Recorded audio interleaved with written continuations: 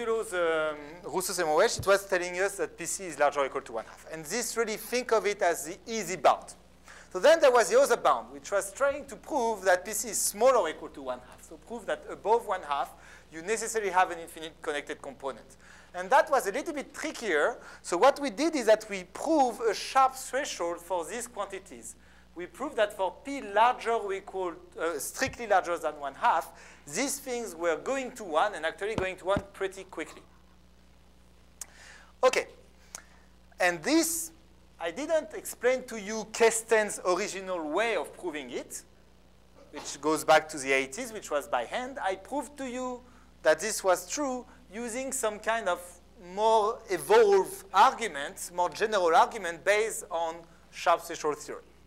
So what I want to do today is start by giving you an alternative way of proving this bound, which is more suitable like to higher dimension. And then, so it will be conditioned on a certain theorem, then I will explain to you how you prove this theorem by hand. So kind of the Kesten way of proving this theorem. But then, tomorrow and uh, in the last uh, three lectures, Vincent will explain to you how you do the sharp special way of proving this theorem and why it's a better way, because in particular it extends to more general models. Okay? So today I'm going to do the Kesten's way somehow. But I mean, it's not a proof due to Kesten. But okay, so let's go back to this PC smaller or equal to one half, and let's try to prove it in a slightly different way. So what I'm going to do is imagine that I have the following results. Imagine that for any p smaller than pc, so for p smaller than pc, I know that if I denote it theta n of p, which is the probability, say, of 0 connected to the boundary of the box of size n, that's just is going to be a convenient definition. I know that theta n of p goes to 0 when p is smaller than pc, right? Because I know that 0 is connected to infinity with 0 probability. But at which speed does it go to 0? Well, I claim that when p is strictly below pc, this speed is exponential. So there exists a constant, cp, such that for every n, this is smaller than exponential of minus cp times n. So this is a theorem which is true in two dimensions, but in fact it's true, it's true in any dimension. So in, for any d larger or equal to 2, actually even in dimension 1 it would be true, so we can um, keep it like that, there is exponential decay. It's a result which is not actually due to Kesten, it's due to Menshikov, and basically at the same time due to Aizenman and Barsky. A few years after Kesten's proof of PC equal 1 half. This is 80, this is 86 and 87.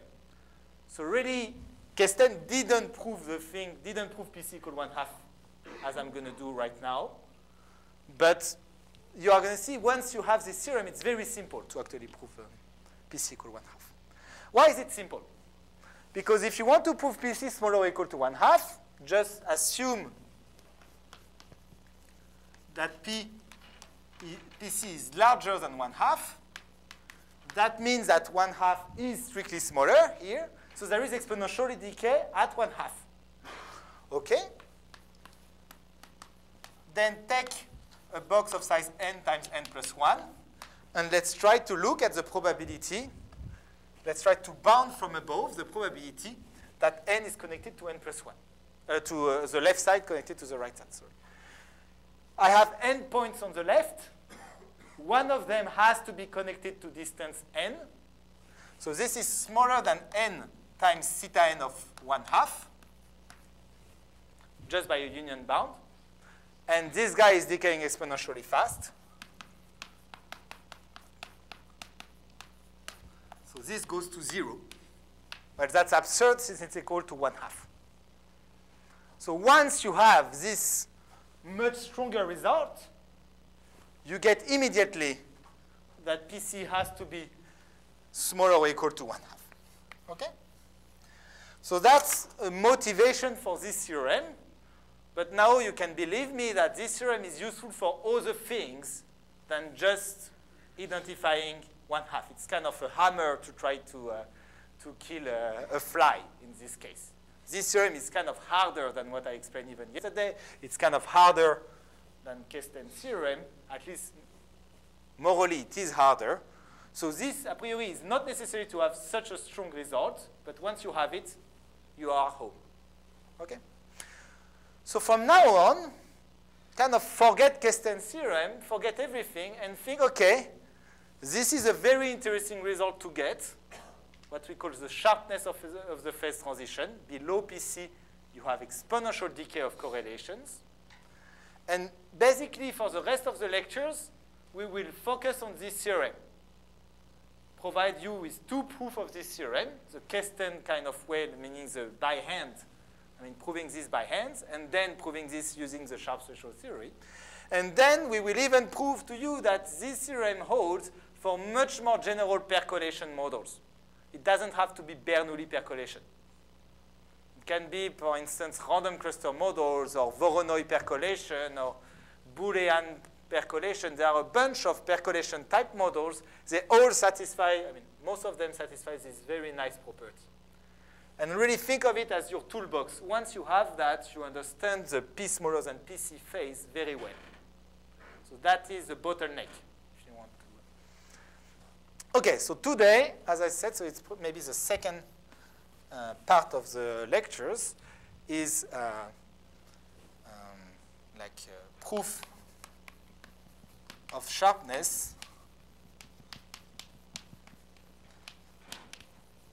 with hands. Like like naive proof of uh, poor mathematician uh, proof. As, uh, you know, you have this uh, poor Monte Carlo simulation. It's a beautiful articles on on Bernoulli percolation where people were basically doing Monte Carlo by hand at the time because they didn't, they didn't have computers. So here it's kind of like really, okay, you do no sharp threshold, so you try to do it really with your hands. Okay. So how will we prove that? So one observation which is important here is notice that I don't claim this is true at PC. In fact, I can even prove to you it's not true at PC because at PC this is equal to 1 half. Therefore here, just doing the reverse, forgetting about that, if this is 1 half, tells me that in fact probability to be connected to distance n is larger than 1 over n. Okay? So it doesn't decay exponentially fast.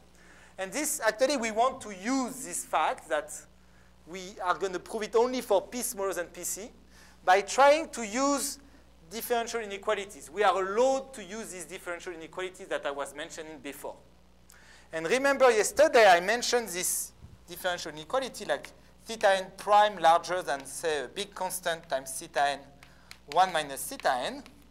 Ideally, what I would like to have if I want to have at pc minus delta to have exponential decay, what constant should I have here, ideally? Well, if you remember with the k here, I was getting that theta n of p minus delta was smaller than theta n of p, basically, times exponential of minus k delta. It was roughly what you would be getting. So if you want to guarantee exponential decay, this you know is bounded, say, by 1. So you want k to be n. Ideally, you would like that. If you would have theta n prime larger or equal to n theta n 1 minus theta n, you would be home already. You would integrate that between PC and uh, PC minus delta, and you will get exponential decay. Actually, if you think maybe just even a little bit about that, you will realize that it's not really decent to believe that you will get a differential inequality which is that strong. You will not manage here to put n, at least not easily. So what I want to argue today is that I want to say that here I can put something big, maybe not n times theta n, but something big. So what do I know, what I can put already here? So I know that I can put something like that. I mean, without anything in front of it, this is Poincaré inequality. So I didn't really prove to you this inequality. I just mentioned that it was easy to prove. Um, Actually, I think Vincent told me that he's going to prove it to you tomorrow, so it's very good for me. I don't have to do it. But if you want just to be convinced that it's true, just take the BKKKL result of yesterday. KKK, yeah, that's good, okay, BKKKL. And just use that the influences are smaller than constant, and you get that theta the variance is smaller than sum of influences, which is the derivative. So you get exactly this inequality. So this is trivial to get, but the point is that this doesn't give you anything here because you just get k equal 1, so you don't get anything. So my goal is going to be to replace here by something much larger than theta n. That's going to be my goal. I want a quantity here which is much larger than theta n. In order to do that, what I'm going to do is I'm going to try first to get some information on I mean, on, on, on the P smaller than PC phase, basically. More precisely, I want to get some information on the phase where you have exponential decay. What can I say when I already know for sure that I have exponential decay? So let's go back in, uh, in time a little bit to one of the first papers in percolation theory, due to Harris, I think. I'm always a little bit confused between Harris and Hammersley, but I think this one is due to Harris, right? Vincent? It's Harris or Hammersley for the 5PON? I'm always confused. It's Hammersley, right? Yeah. Okay. Well, it start by ham, then no, by ha. Also in this one? Ah, okay. Yeah, so it's a quantum Welsh. Maybe it's there, maybe it's not. Who knows? Uh, anyway, uh, it's okay to add credit to people. So let's put it, and worst case scenario, he didn't have anything to do with it. And, okay, so what they did is that they wanted to compute the value of PC, or to estimate the value of PC, and they were looking for sufficient conditions to actually guarantee that you are subcritical. And the first condition that they looked at is that, well, if you are on a graph of uh, degree d, or 2d, say, well, then PC has to be larger or equal to, to 1 over 2d. How do, do, did they do that? They just said, okay, if 2d times PC is smaller than, uh, times p is smaller than 1, then you have a very simple counting argument that tells you that you have at most 2d to the n walks of length n. They all have probability, I mean, uh, of length n, every pass has probability p to the n of being open. So the union bound is going to tell you that probability to be connected to distance n smaller than the sum of the whole path probability that this path is open. So smaller than 2dp to the n. So that's a simple argument to prove that PC has to be larger than 1 over 2D. But then you can try to improve this argument. For instance, you could say, okay, and that's what they did basically in this, in this uh, paper, take a box of size, okay, that is not a centered box, but okay. Takes a box size of size 3 and look at the expected I mean, the expected number of points on the boundary connected to the origin in the box.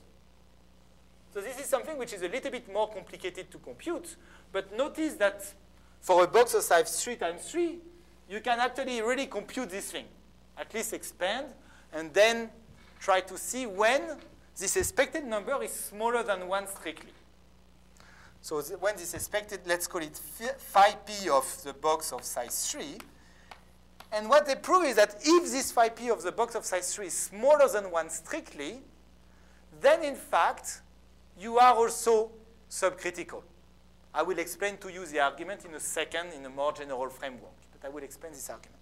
And you see, you can definitely believe that the set of P for which this phi P of lambda 3 is smaller than 1 this set is going to be bigger than the set of P for which this is smaller than 1. So they get a better lower bound, basically. So that was the original idea, and that's one of the first papers on percolation theory, really one of the very first ones. And there the goal was to compute, to estimate PC.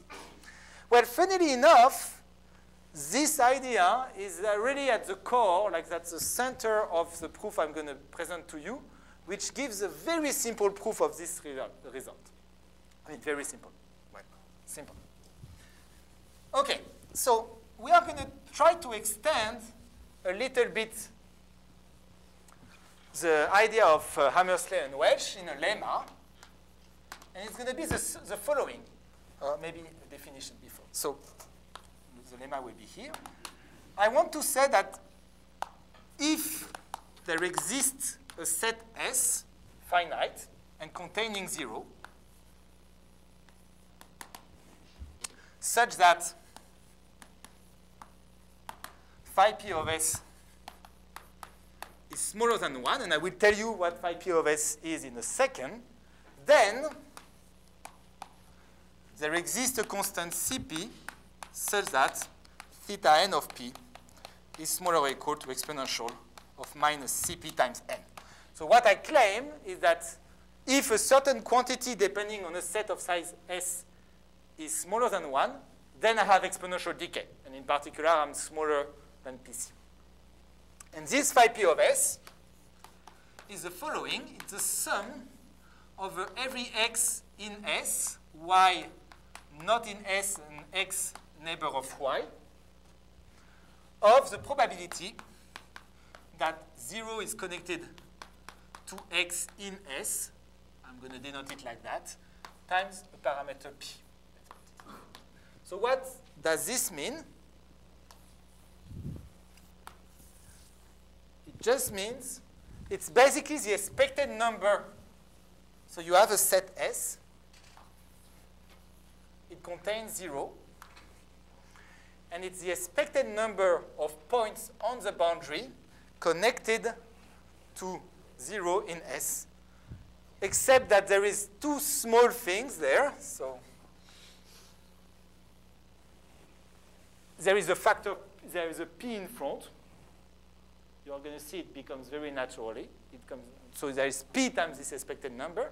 And there is a funny thing here, which maybe is bothering some of you, is that there is a Y here. And this Y is not there. That just means I want to count with multiplicity. Because a point x here may have several neighbors. You, you agree that because I'm summing on y neighboring x and I'm saying that y is not in S, here the only x that are important are the x on the boundary. If you are not on the boundary, you don't have any neighbor outside, so this here you will not contribute. So you are only contributing when you are on the boundary, and you are contributing just with a multiplicity of the number of neighbors outside. Just it's going to be more convenient for what we want to do later. But otherwise, you can kind of forget that. It's not the main. It's just that it's going to be cuter later. But So it's this expected number. Notice that this is what? This is just phi p of the singleton 0. Right? So what I claim in this lemma is that if I can find whatever s for which phi p of s is smaller than 1 strictly, then I have exponential decay. Okay? He's trying to tell me something. Ah, Hammersley 57. Okay.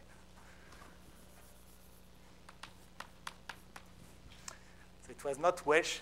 It was 57, apparently. Thank you. Um, okay. So how do we prove that? So now I need to kind of prove to you this. Um, maybe let's start here. So the idea is kind of intuitive. You want to compare a little bit to a branching process.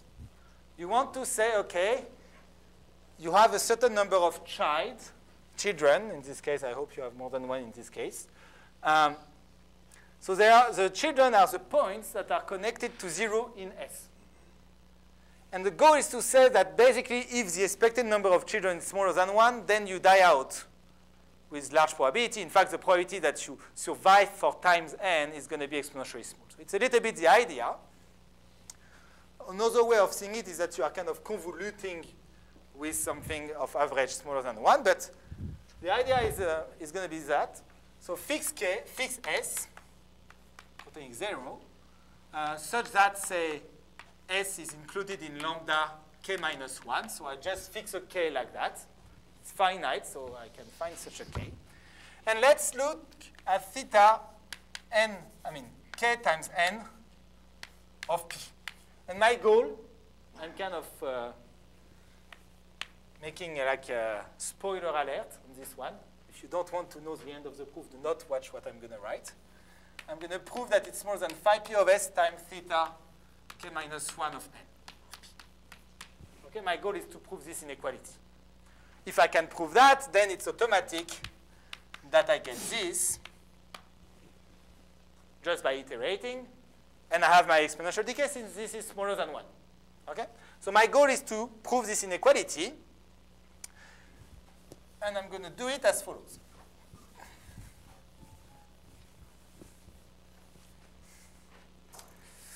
So the idea is you have your set S containing 0. You have a box of size k around. And you want to connect to the box of size n times k, right?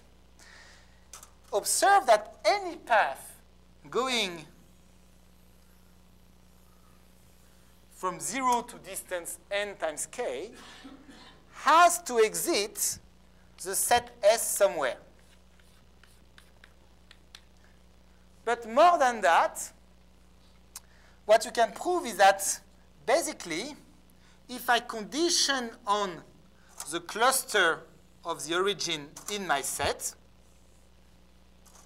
in my set S, so let's imagine you look at all the points that are connected to the origin in the set, then there must be one point on the boundary of this cluster, which is on, which is on the boundary of the set, which is connected to 0 in this set, and which is connected to the boundary not using any points in the set S, in the connected component. So let me now translate this into something more uh, understandable. So let's call C to be the set of X in S so that X is connected to 0 in S. So it's just a connected component of 0 in S. Yes?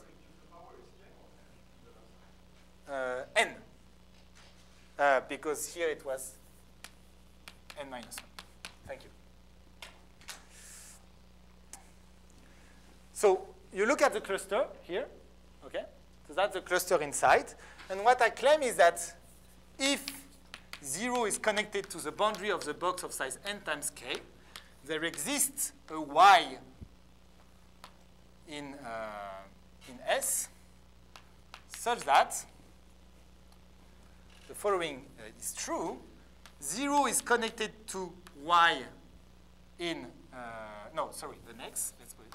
0 is connected to x in S, in, uh, in C, sorry. X is connected to a certain y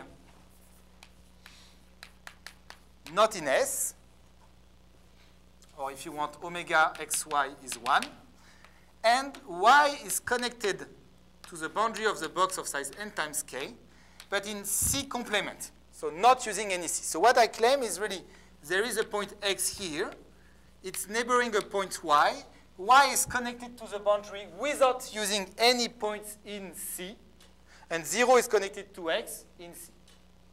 Okay? So I let you think about why this is true, why there is necessarily such a point, I mean such an edge. Okay? That's a good exercise to try to convince yourself of that.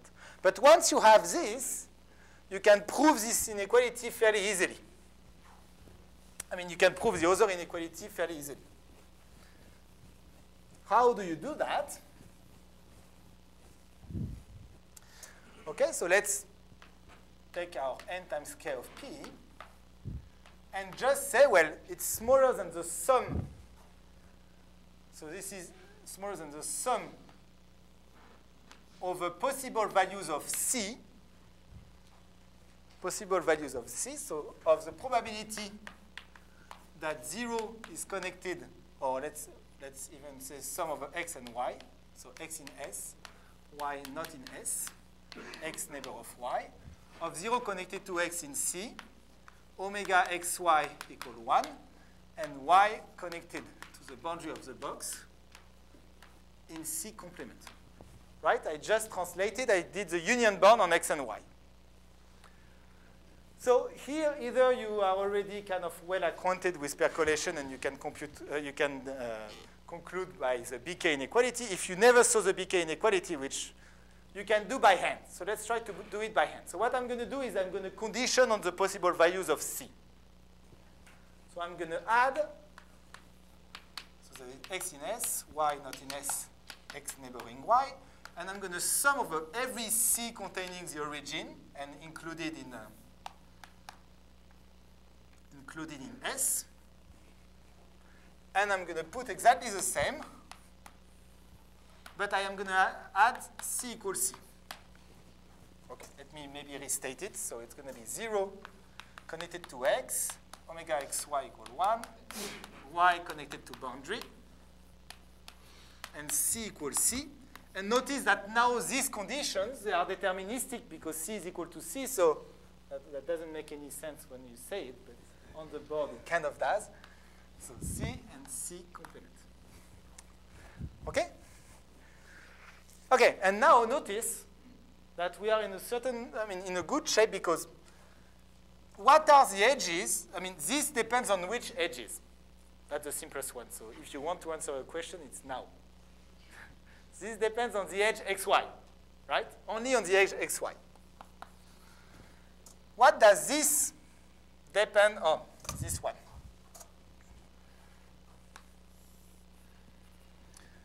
So y connected to the boundary, not using any vertices in C. Well, it depends on all edges. So edges with both endpoints outside C. Okay? And remains my last guys, this and that. So what do I need to know to have C equals C and 0 connected to X in C. So 0 connected to X in C, notice that this is kind of trivial one, once you know what is C, right? Because this is just saying X belongs to C. Okay, so this is trivial. What does this depend on? Well, this depends on all the vertices, in, uh, I mean, uh, on, a priori on all edges with at least one endpoint in C. right? Why? Because you need to know that the points are connected to the origin, and you also need to know that no other point is in C. So you also need to know the boundary somehow of your, uh, of your cluster. So it really, it doesn't depend only on the edges with both endpoints in C, but at least one endpoint, that, that is sufficient. But the important thing is that these three sets are disjoint. Therefore, by independence, this is equal to the uh, product of the probabilities. So all of this, I have the same sum in front. I get probability that omega xy is equal to 1, probability that y is connected in C complement to the boundary, and then probability of 0 connected to x in C, and C equals C. Okay? Now this is just P. That's good because we want a P. The probability that Y is connected in the complement of C to the boundary of the box of size nk, that may look a little bit ugly, but notice that if Y is at distance 1 of S, it is necessarily in the box of size k. So it's necessarily a distance k times n minus 1 at least of the boundary here. So this guy here, so this guy here is smaller. This is orange. This is smaller or equal to theta n minus 1 times k of p. Notice that I forgot the C complement because if you are asking that it's connected to distance and not using certain edges, it definitely reduces the probability of your event. So this one, we said it was P. So it's P times theta n minus 1 k of P. And then you get the sum over x in S, y not in S, x connected to y, of the probability times the sum over C of the probability that 0 is connected to x in C and C is equal to C. Here you can bound if you want by S. Uh, actually, it's not bounded by S. So if you just, this whole sum here, what is it equal to? Well, it's just partitioning, when you partition on possible values of C, you are just partitioning the event that 0 is connected to x in S. So this is equal to that. So P times this quantity is exactly phi P of S.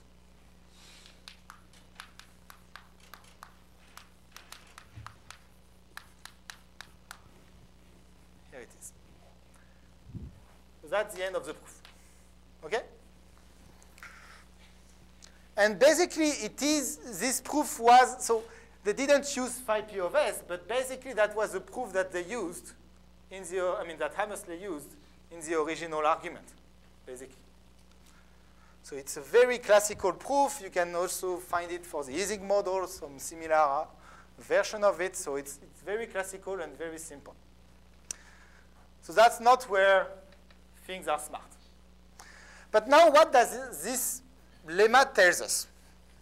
Well, it tells us that, well, at PC, I mean, so, sorry, it tells me that if I define PC tilde to be the infimum of the P for which phi P of S is larger or equal to 1 for every S, always finite. Huh? It tells me that if I am below PC tilde, I have exponential decay automatically. That's what it tells me. But now what does it I mean, what more does it tell me? What is the simple corollary of that? Is that if I can prove that PC tilde is equal to PC, I am home. I finish my proof. Right? Because I would just have proved that below PC tilde, so below PC, I have exponential decay. So that is actually the piece of information that I'm going to use to try to get a better differential inequality that theta n prime larger than theta n times 1 minus theta n.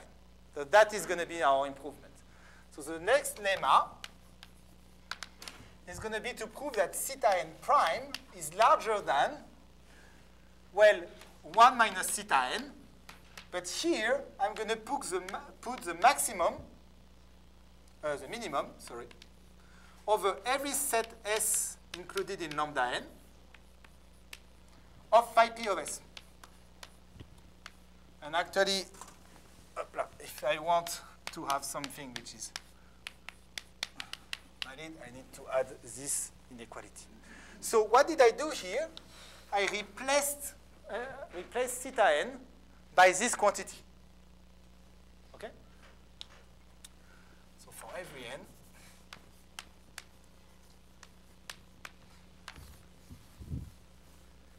So why is it a much better inequality?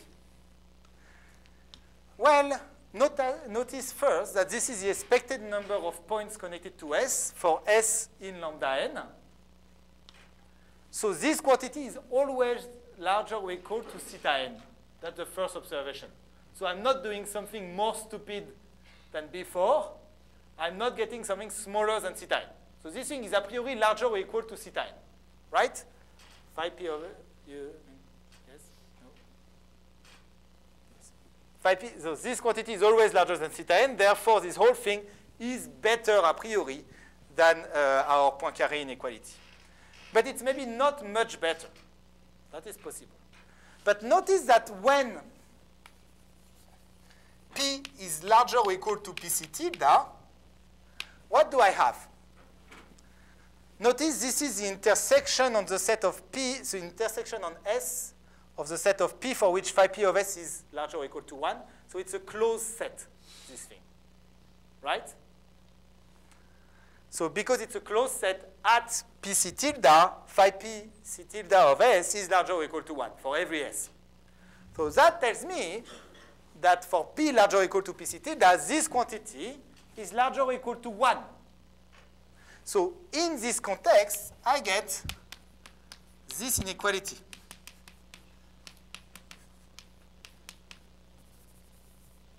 And that, that is a priori much better than theta n times 1 minus theta n. Because if you imagine that you have a whole range where you would not have exponential decay, theta n would go to 0.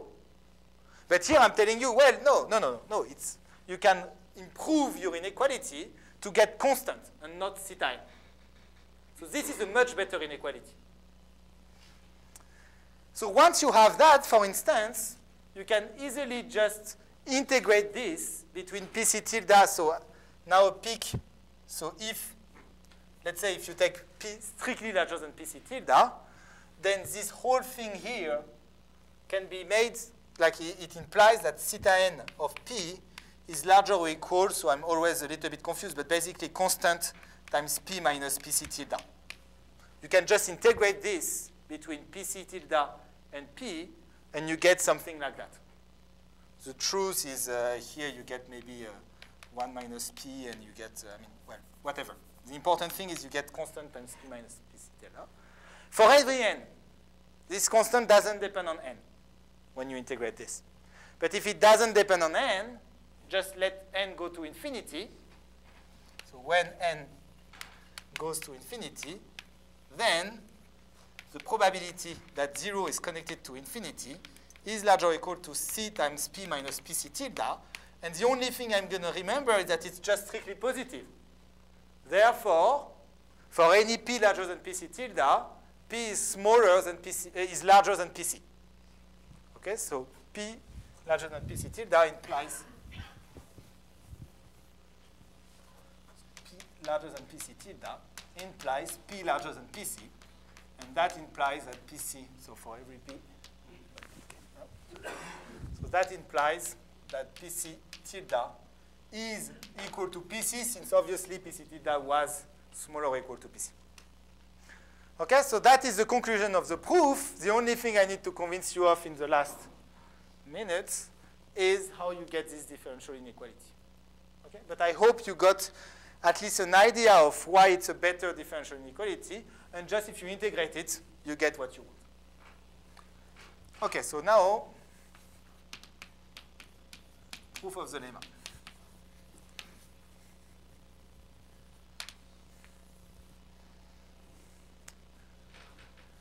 OK, so we are going to reuse our Margulis-Russo differential inequality. So remember, it was saying that the expectation of the derivative of the expectation was the sum of the covariances, basically. So apply it, but apply it not to indicator function that, oh, oh let's say, apply Margulis-Russo to minus indicator function that 0 is, is not connected to distance n. Why? Because the derivative of the average of that is the same as the derivative of 0 connected to uh, distance n. So apply to this, what do you get?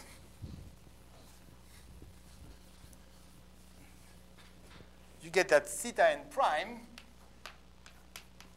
is equal to 1 over p 1 minus p times the sum over every edge in my box of size n of the probability, I mean of the covariance, between the indicator function that 0 is not connected to distance n times p minus omega e. Here, I, the minus, I just put it here. Instead of putting omega e minus p, I put p minus omega e. Okay? Okay.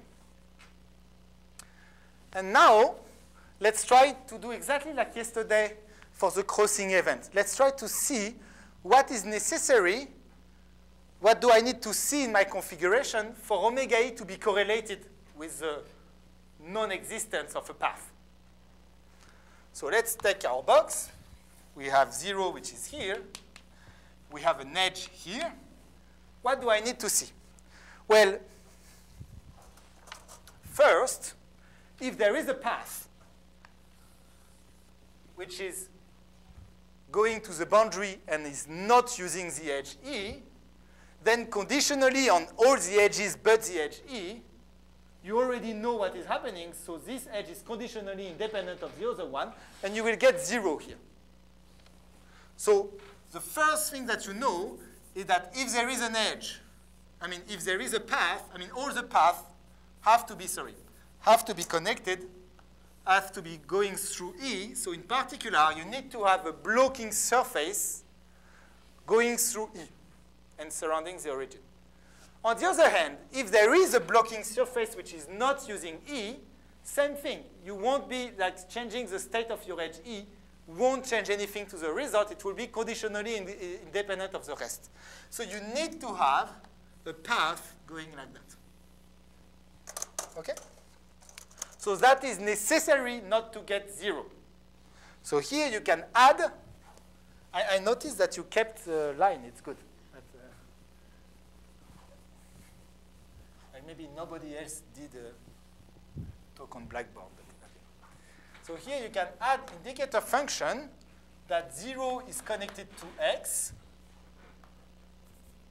y is connected to the boundary, and x is not connected to y uh, in lambda n, or let's say 0 is not connected to the boundary in lambda n minus the edge. Right? I can add this.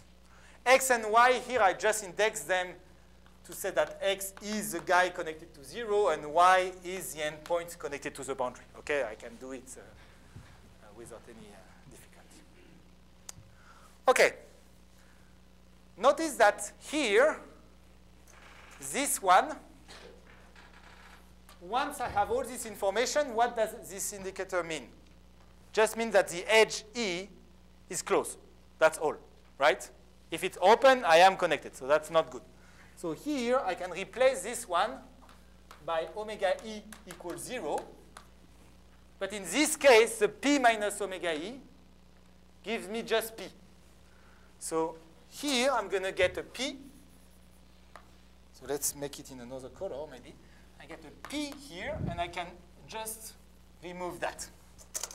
So now I have expectation of omega e equals 0 and, and this event. OK, I'm almost done. So I have 1 over p, 1 minus p. I have a p. This is going to be the guy that appears in phi p of s. So that's perfect. I don't touch it. And now I have the sum over every x, uh, I mean every edge of this thing. So what I'm going to do now is I'm going to just condition exactly as before. I'm going to condition on this time not the cluster of 0 in S, but the cluster of the boundary. So let's sum over every, let's call it uh, C again, every C in lambda n. And I'm going to ask that 0 is not in C, because uh, that 0 is in C, sorry. And, uh, okay, so C is a set of X which are not connected to the boundary of lambda n. X in lambda n. And I'm just going to condition, so I'm going to pro probability, so omega e equals 0, 0 connected to x, y connected to the boundary, 0 not connected to the boundary in lambda n minus e. Which, by the way, if omega e is equal to 0, I can just ask this and remove this. This is the same. And I ask that c is equal to c. So I, again, and I have still a sum over the edges. Okay, so I just partition my set on the possible values of the points that are not connected to. So if you want, here would be kind of all these points. Okay.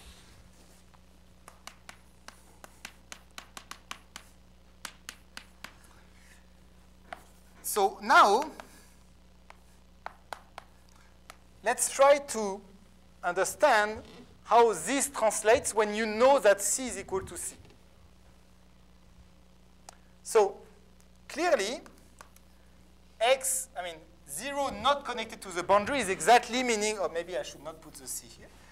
Let's put it like that. So 0 not connected to the boundary exactly means adding 0 in S. That means 0 is in S. Okay? Then 0 connected to x, well, if 0 is not connected to the boundary and x is connected to 0, then it's not connected to the boundary. Uh, sorry, y connected to the boundary means y not in S. So y not in S. Uh, not in C, sorry. Then 0 connected to x, it forces x to be in S.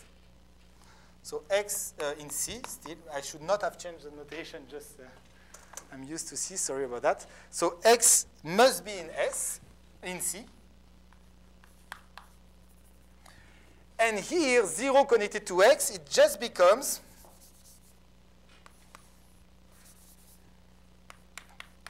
zero connected to x in C. I can add this condition because every point that I'm using to go from 0 to x has to be in C. Okay, and I have C equals C. Okay. How do we conclude? Well, we use exactly as before. This depends only on edges with both endpoints in C.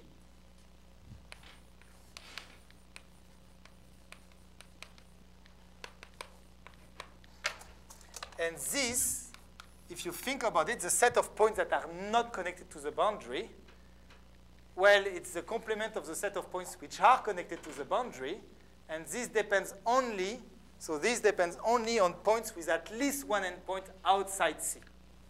So at least one endpoint outside C.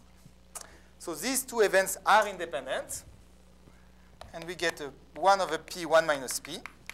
You get a p, and here you have a sum over x in C, y not in C. By the way, here I should also have said that x is neighboring y, which is, uh, here I should have kept it, maybe, omega xy equals 0. So x is neighboring y. So here I get the sum over x in C, y not in C, x neighboring y of the probability that 0 is connected to x in C times the p, it gives me exactly phi p of c. So I have the sum over c of phi p of c times the probability that c is equal to c. Right? Now here, phi p of c is always larger or equal to the minimum of the phi p of s over every s. So this is larger or equal to 1 over p, 1 minus p. The minimum of the phi p of s for 0 connected to s and included in lambda n, because here, of course, c was included in lambda n as well. And I get the sum of the probability that c is equal to c when I sum over every possible C containing 0. So the last step of the proof is what is this thing equal to? This, the event that C is equal to C over, like the, party, the, the union of these events over every C containing the origin. This is just partitioning the event that 0 is not connected to the boundary. So this whole thing here, I can replace it by 1 minus theta n of p. And I get what I want. So it may look like not such a simple proof, but I mean, try to compare it to what was existing before. So here I really didn't put anything under the carpet. It's really the full proof. And in particular, for instance, it gives you a proof of uh, PC equal 1 half, like it replaces the argument that I highlighted before, I mean, yesterday, using the BKKKL result, which is, like, it's not a straightforward result to prove, trust me. So here it's really completely, uh, I mean, it's a foolproof. You need to do it yourself somehow, this computation, but at the end it's five lines, something like that. So it's not very, very long proof. so that is a proof by hand. You may prefer it to a more elaborated proof. You may prefer it less. I mean, that depends on the taste. Uh, I, I, think, I mean, you will see the next, like the proof that Vincent will present has its advantages, and in some aspect is not more complicated than this one. It's a little bit more elaborate, but it's not longer. But I think, yeah, that's, uh, I mean, I like this proof. It's, uh, it's, uh, I was happy, I mean, we were happy when we, when we found it. Anyway, um, how, I mean, I, just in the 10 last minutes, I was told that if you want to eat here, you have to fight with like uh, 1,000 other people. So uh, we are going to try to have a head uh, start. So I'm going to finish uh, in 10 minutes, something like that. Um, hoping that not everybody else got the same idea, right? so we are all going to get out at the same time.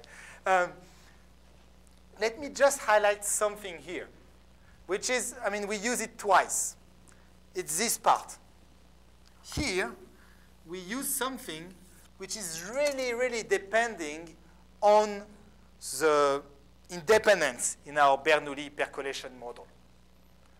And the historical proof of Menshikov and Aizenman-Barsky, Vincent will tell you a little bit more about the Menshikov proof, or at least on the differential inequality that you use for the, um, they were also based on similar type of arguments using greedy independence. But it's a very, very delicate independence.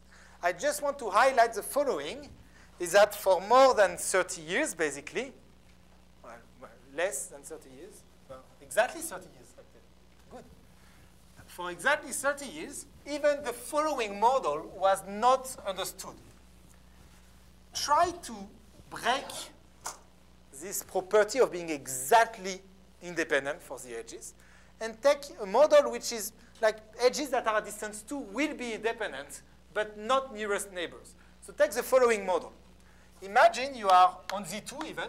Well, on Z2 it was known, but like on ZD, say. So you take your lattice. And what you do is that for every point in your uh, lattice, you take, you, you fill a ball, you put a ball of size 2 uh, maybe size 2. Let's, uh, let's put three. A ball of size 2 around the box with probability 1 minus p. So independently for every uh, point, you put the ball of size 2 around uh, the point with probability 1 minus p, and then you just take the complement of the union of all the balls. So if you want your open edges are edges which are not in any of these balls.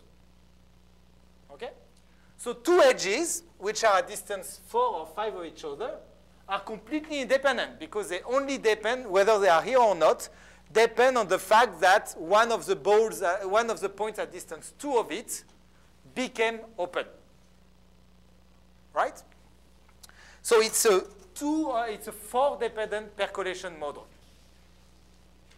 It looks like it should work exactly the same, right? I mean, how can it be that it's so delicate that for exactly independence you can do the trick? And if you start to have like almost independence, right? There are distance, it's better than any type of correlation you can hope for. The correlations are zero when you are a distance four. Well, this thing proving, so there is a PC for this guy. There is a value of P where you start not to have, uh, I mean, infinite clusters. It was not known that below PC, you would have sharpness of the, you would have exponential decay. So here, the proof by hand is very, very delicate. Depends very much on the thing. And for people who know Voronoi percolation, maybe uh, you heard about that, it's another type of percolation model where you color the Voronoi cell of a Poisson point process. There as well, you could really think, okay, this is the biggest independence you can hope for. Like it's uh, once you have your cells, which are very small and nicely packed, it's really side percolation on the cells. So how could it be complicated? Well, even for this model, none of the proof were working in higher dimension. So, okay, we have a proof that I can present to you in, in one hour, but somehow it's kind of a miracle almost, in the sense that these are difficult, and I mean, these are very thin, you are walking on a thin rope, and if you just walk on one side, you fall. So the goal of the three next lectures will be that Vincent is going to tell you that he can catch you up and you won't really fall because in fact now we have an understanding that goes beyond this independent uh, percolation model. I should say there was one other model which is the Ising model for which people knew that, but because there is a representation of the Ising model that shares exactly this type of properties. So there was some miracle as well there. Okay, well, we have even uh, almost 20 minutes uh, head start. Thank you very much.